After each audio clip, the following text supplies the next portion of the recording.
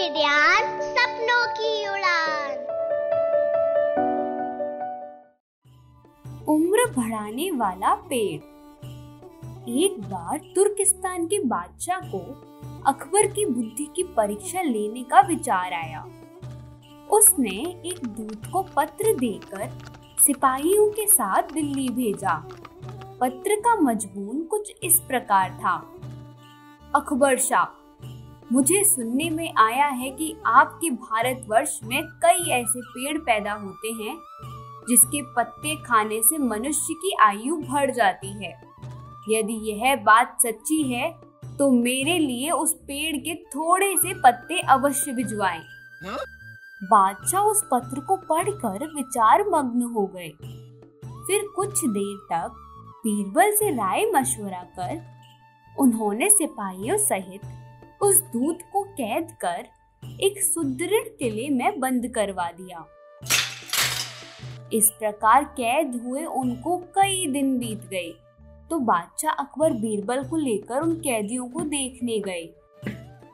बादशाह को देखकर उनको अपने मुक्त होने की आशा हुई।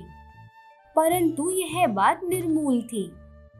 बादशाह उनके पास पहुंचकर बोले तुम्हारा बादशाह जिस वस्तु को चाहता है, वह मैं तब तक उसे नहीं दे सकूँगा, जब तक कि इस सुदृढ़ किले की एक दो ईट न दह जाएँ। उसी वक्त तुम लोग आज़ाद किए जाओगे। खाने पीने की तुम्हें कोई तकलीफ़ नहीं होगी। मैंने उनका यथाचित प्रबंध करवा दिया है। इतना कहकर बादशाह चले गए। परंतु कैदियों की चिंता और बढ़ गई। हाँ? वह अपने मुक्त होने के उपाय सोचने लगे। उनको अपने स्वदेश के सुखों को याद कर बड़ा दुख होता था। वह कुछ देर तक इसी चिंता में डूबे रहे। अंत में वह ईश्वर की वंदना करने लगे।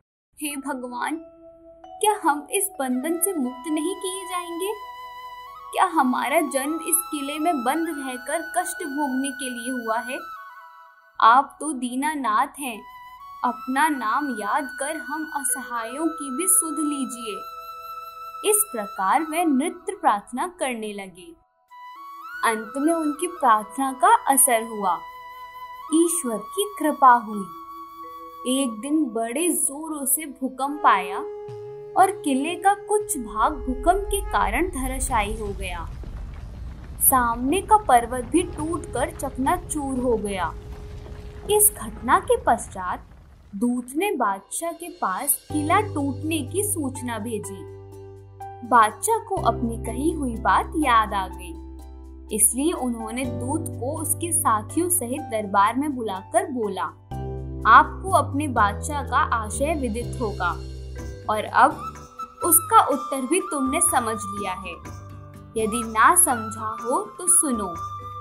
मैं उसे और भी स्पष्ट किए देता हूँ। देखो, तुम लोग गणना में केवल सौ हो और तुम्हारी आह से ऐसे सुदृढ़ किले ढह गए। फिर जहाँ हज़ारों मनुष्य पर अत्याचार हो रहा हो, वहाँ की बादशाह की आयु कैसे बढ़ेगी?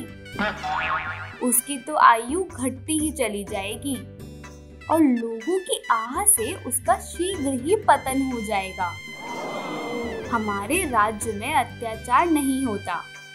गरीब प्रजा पर अत्याचार ना करना और भली भांति पोषण करना ही आयुवर्धित वृक्ष है। बाकी सारी बातें मिथ्या हैं। इस प्रकार समझा बुझाकर बादशाह ने उस दूत को उसके साथियों सहित स्वदेश लौट जाने की आज्ञा दी और उनका राह खर्च भी दिया। उन्होंने तुर्किस्तान में पहुंचकर यहाँ की सारी बातें अपने बादशाह को समझाई। अकबर की शिक्षा लेकर बादशाह दरबारियों सहित उनकी भूरी भूरी प्रशंसा करने लगे। तो प्यारे बच्चों कैसी लगी आपको ये कहानी? आशा करती हूँ आप सबको यह कहानी पसंद आई होगी। मैं आप सबसे जल्द मिलूँगी एक और मज़ेदार कहानी के साथ।